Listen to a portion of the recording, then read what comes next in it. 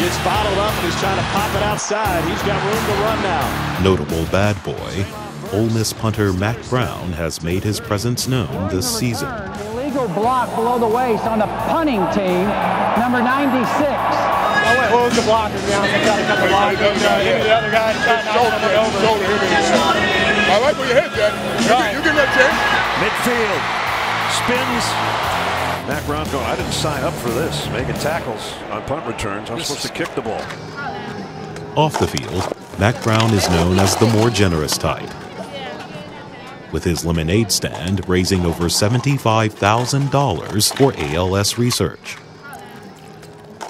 The awesome lemonade stand made its way to Oxford prior to the Rebels matchup with Vanderbilt. We are here at the ALS Awesome Lemonade Stand raising money for ALS research, and it's being ran by the Student Athletic Advisory Committee of Ole Miss.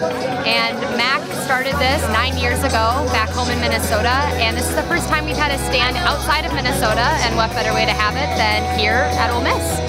I mean, we have our system down. Yeah. We yeah, take I mean, the orders. Yeah, they grab them. They're making them. Yeah, they are just doing a great they're job over there. So, So I just pour. I feel like an airline attendant, you know, when they just go for it. Are y'all from Nashville? Let's go. Let's go. The response has been great. The response has been great. So hotty toddy to Rebel Nation, and a great job to everybody coming out and making a difference to find a cure for ALS.